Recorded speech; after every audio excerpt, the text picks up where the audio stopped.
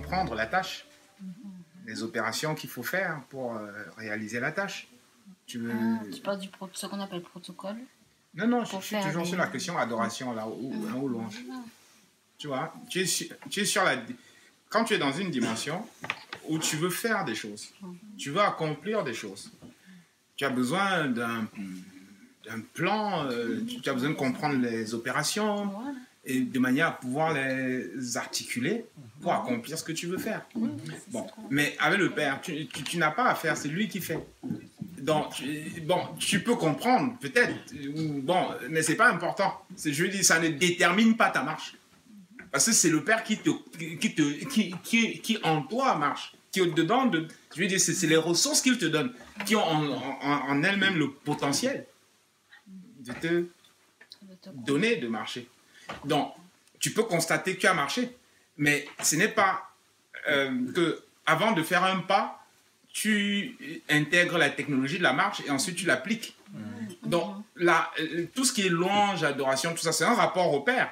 Qu'on a- qu'on essaie de découper en morceaux comme à la boucherie, tu prends un animal, tu dis ça c'est l'épaule, ça c'est la jambe, ça c'est le pied. Là, on va faire du gigot grillé, etc. Je veux dire, on veut faire de la relation au Père euh, une sorte de tranche de saucisson qu'on va combiner en sandwich et tout ça pour faire le, le plus beau sandwich au c'est- voilà, enfin, je caricature, mais il y a cette. euh, Mais le fond est là. voilà, il y a, hein, il y a ce fond-là derrière.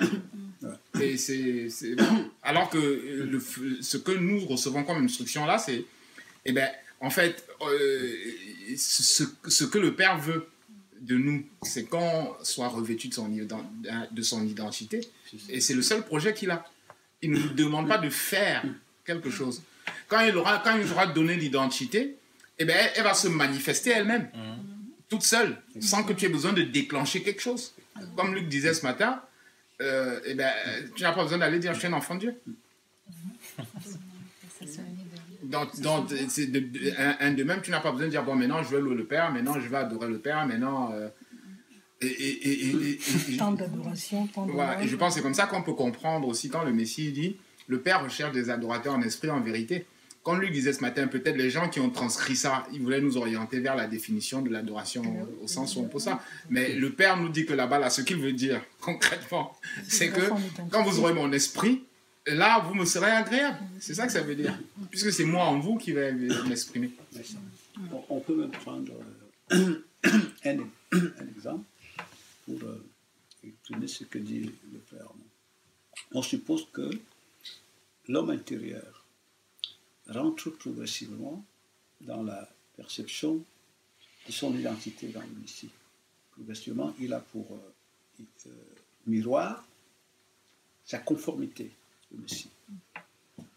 Donc, il perçoit euh, les hauteurs de cette identité, la grandeur, l'immensité de, de- de- des avantages pour lui de, rentrer dans ce statut.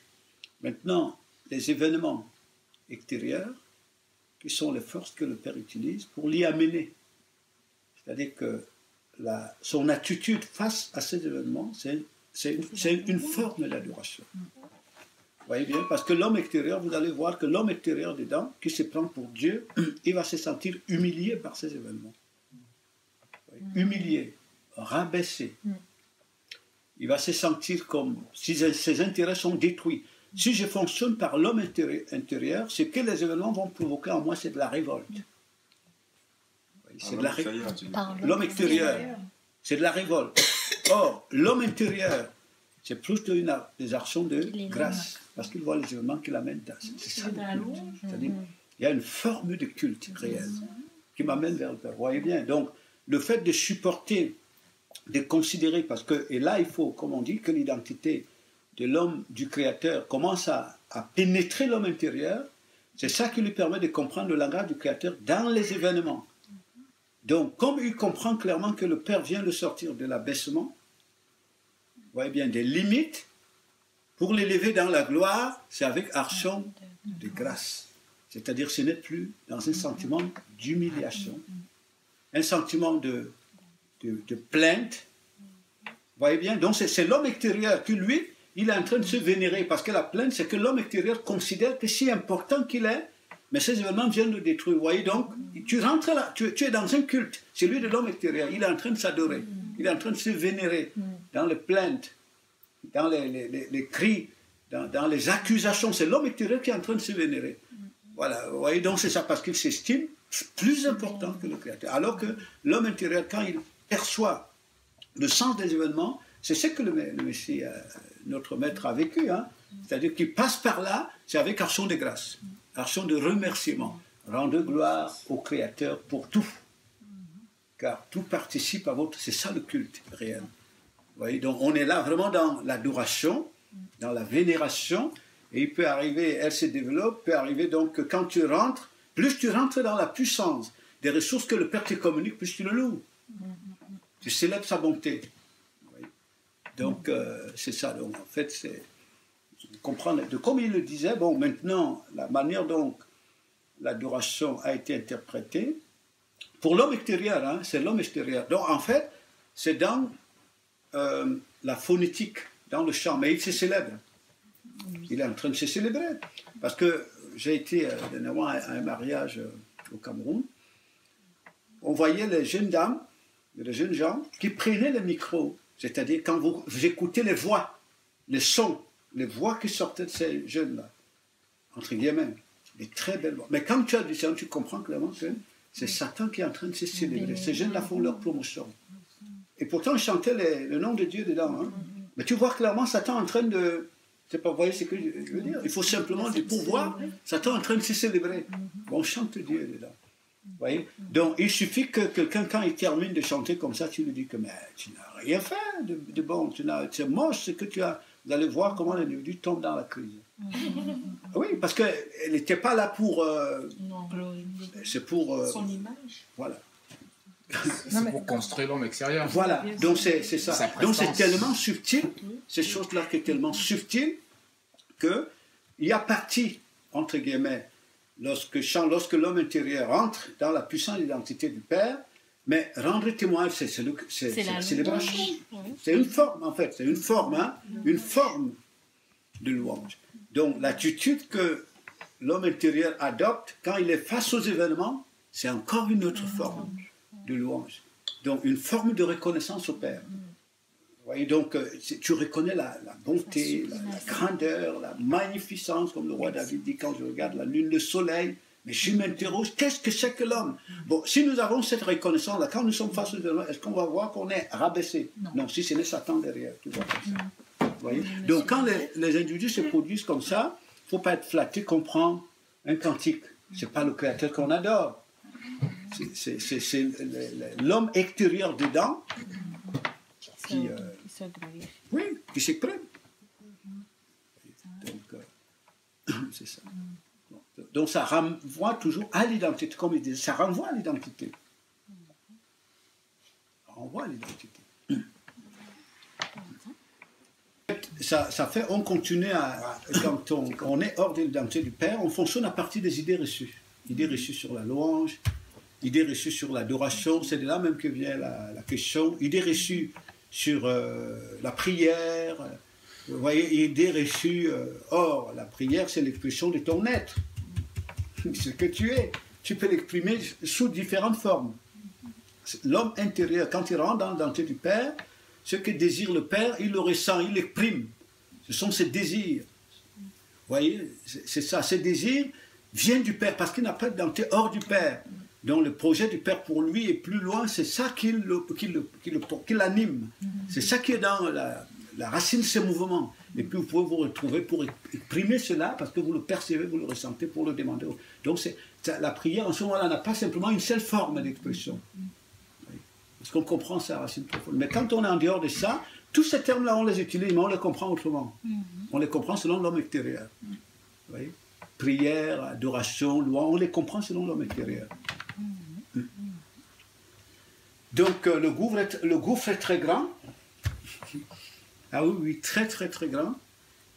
Euh, ce, ce jour-là, c'était le mariage où on avait été là. En fait, c'était vraiment incroyable. C'est-à-dire de voir l'homme extérieur sur scène. Bon, et il est clair que les acteurs même n'étaient pas conscients. Mais tu vois clairement que l'homme, c'est l'homme extérieur qui est sur scène. C'est lui qui se célèbre. Voilà. Mais avec des très très belles voix, très belles voix, mais telles que, Dieu. voilà, on voit des, des- des jeunes filles, des jeunes gens, ils dansent, mais on voit vraiment le- l'homme extérieur en scène. Et c'est là que tu dis, on perçoit le véritable besoin. Oui, voilà, en ce moment-là, En ce c'est le besoin qu'on voilà, perçoit. on perçoit le Voilà, besoin. en ce moment-là, on perçoit le besoin. Parce qu'il est évident que les esprits qui sont dedans sont confinés Mais eux-mêmes. Les personnes sont inconscientes, totalement, totalement inconscientes. Et donc, euh, donc c'est ça.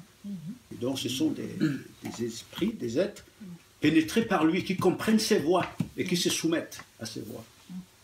Face aux événements, aux circonstances, c'est ça, c'est de ça qu'il est question. Ce n'est pas une question de, de, de quantique, Voilà. c'est une question de, L'obéissance voilà, D'identité. d'obéissance, d'identité, de soumission, d'attitude. C'est ça, ça le culte. C'est ça. Ça le culte. Ouais.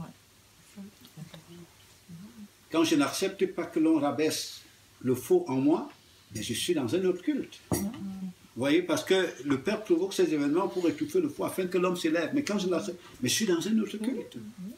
Là, je suis vraiment dans le culte. de- de- C'est l'autre qui s'adore derrière. Et au final, la créature ne peut pas adorer le créateur. La, la- la- la création. La création. La création dans l'ensemble est totalement dépendante du Créateur, totalement dans l'ensemble. Bon, maintenant, puisqu'elle est animée, parce que le Fils, c'est pas un être animé. hein. Le Fils, c'est pas un être animé, c'est-à-dire c'est quelqu'un qui fait partie de l'identité du Créateur. Donc, le Créateur est le principe de son identification. Il s'est défini dans le Père. Vous voyez bien, donc il lui voue. Il se reconnaît en lui. C'est une manière de se reconnaître en lui, adorer. Bon, maintenant, tout le reste de la création est au service du Créateur, parce que c'est lui qui l'anime. Donc, on ne rentre pas dans le même type de rapport entre le Fils, entre le Père et le Fils, et puis le reste de la création. Ce n'est pas le même type de rapport. Vous voyez? Donc quand il y a le passage où euh, David dit euh, les cieux, la terre, tout, que toute la terre loue l'éternel. Oui, c'est-à-dire qu'elle est au service. Voilà. Elle est au service. Bon, et quand vous voyez euh, dans Colossiens, chapitre, je crois, 1, euh, ce passage que prend souvent à partir du verset 15, présentant le, Fils comme la, fo- la forme visible du Créateur invisible. Et plus loin on dit, avec lui et pour lui, selon la Shuraki, ont été créées toutes choses. On commence par principauté, domination, autorité, puissance. On s'arrête là. Voilà. Donc, ça veut dire que ce sont ces, c'est cette sphère-là qui anime euh, ce que nous voyons. Elle-même étant dépendante du Père, mais tout est au service du Fils. Donc, ces créatures-là ben, servent le Père par le Fils. Par le Fils, si vous voulez, par le Fils. Parce que participant à la construction. Voyez, le Fils. Donc, il n'y a, pas le même type de rapport. Parce que le Fils, lui, il s'identifie à son Père, parce qu'il en est l'émanation. C'est-à-dire que le moi du Père, c'est son moi. Donc il est vraiment dans un culte profond, vrai, voyez, de reconnaissance et d'action de grâce. Alors que le reste de la création, qui ne porte pas en elle la substance du Créateur, elle est instrument, elle est animée par le Créateur. Donc, euh, de bagage religieux, mais religieux au niveau embryonnaire, hein, c'est-à-dire selon les dénominations. Par rapport à la, à la- à la- à la connotation de ce qu'on appelle louange, mais qui est totalement autre chose, hein, comme on disait auparavant. La louange ou l'adoration, c'est vraiment le rapport au Créateur. C'est le rapport que nous avons. Un rapport conscient. Oui, conscient. L'homme extérieur, euh, il s'adore lui-même. Il se prend pour Dieu. Lui, il est Dieu. Il se prend pour Dieu. Donc, lui, euh, dans la prétention même, c'est le Créateur qui devrait l'adorer. Oui. C'est pour ça que quand on est à ce niveau-là, l'idée de, de Dieu, l'idée du Créateur, Dieu nous est utile que si elle vient améliorer ce que nous sommes. Oui. Bien, sûr. Donc, ça, en fait, c'est une prétention terrible. On en parle presque tous les aussi à mon salon. Une prétention terrible. L'idée de Dieu, c'est pour améliorer ce que. C'est pour ça d'ailleurs qu'on voit que l'idée de, de, de progrès dans la conscience cosmique est très très vantée C'est ça. et est très mise en avant. C'est ça. C'est, il y a un vrai marketing. Voilà. Mm. Le culte, de soi, c'est le culte, ça. Participe au culte de soi. Voilà. Réussite. C'est un enjeu euh, de, tous les, de toutes les générations, de toutes les, tous les continents, tous les. Et dans, euh, ça va s'appeler développement économique, euh, ça va s'appeler euh, performance, comme tu dis, croissance, Ouais. le progrès, le progrès, faire mieux. Ça. Mais on est tellement concentré à faire mieux que l'idée ne nous vient pas du tout de cesser de faire ça et de faire autre chose. Non. D'être autre chose. Pas du tout. Je sais pas qui est-ce qui donnait l'exemple la dernière fois. Je crois que c'est Alexandre qui disait que euh, il y a des élèves tellement enfermés dans cette compréhension de performance Mhm. que finalement ils devenaient inenseignables. Oui. Parce qu'ils étaient Ouais, enfermés dans cette mauvaise compréhension-là. Oh, et c'est Alexandre qui, dit, qui le disait là. Mhm. Voilà. Voilà. Mais en fait, si vous voulez, c'est alimenté par euh, le culte de soi. hein. C'est alimenté par le culte de soi. Parce que la performance est alimentée par euh, la passion d'attirer les regards des autres sur soi. Tirer les regards des autres sur soi. Donc c'est c'est ça. Et tout est construit sur la base de ça. Donc c'est l'homme extérieur. Ça renvoie à l'homme extérieur, extérieur, ce qu'on appelle l'égocentrisme, dont le faux égocentrisme. Parce qu'il y a un personnage dedans qui ramène tout sur soi. Donc de telle manière que euh, dès que je finis de parler, euh, j'ai besoin qu'on me dise que tu as très bien parlé. Le salaire.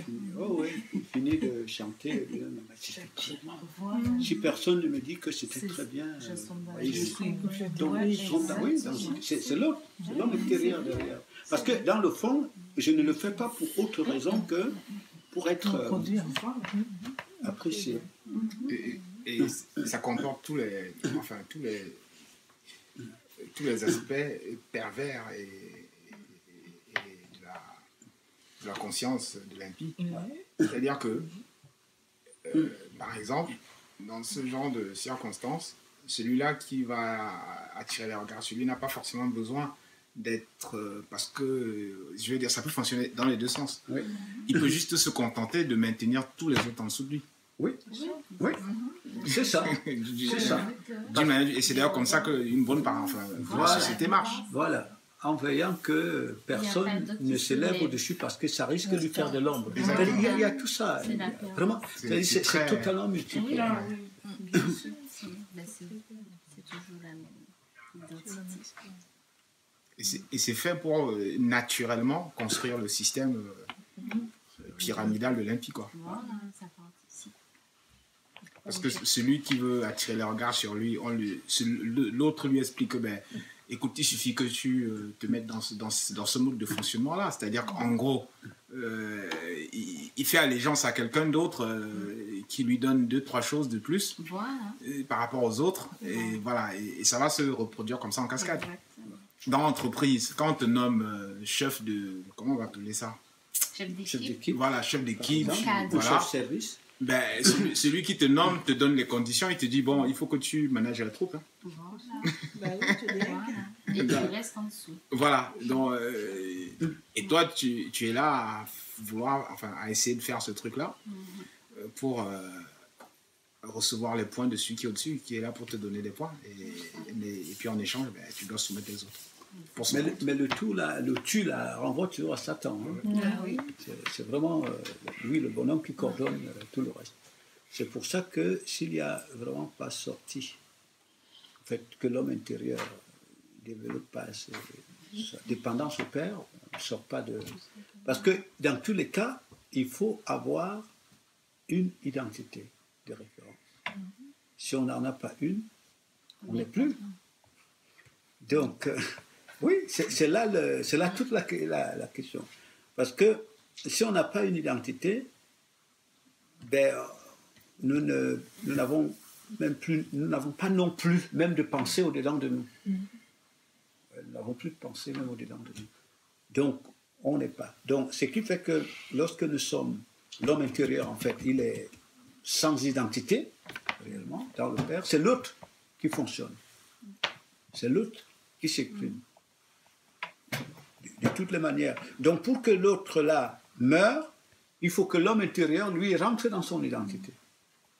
Donc, l'autre va être étouffé. Et puis, ça règle tout. L'autre n'est plus. C'est pour ça que le maître disait que si quelqu'un veut venir après moi, c'est-à-dire que partager mon identité avec moi, qu'il euh, accepte de mourir dans l'autre.